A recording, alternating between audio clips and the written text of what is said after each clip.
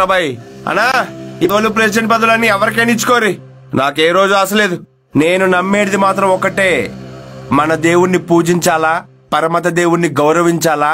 మన దేవుణ్ణి ఎవడైనా తక్కువ చేస్తే గుద్ద పగల్దెంగా జై శ్రీరామ్.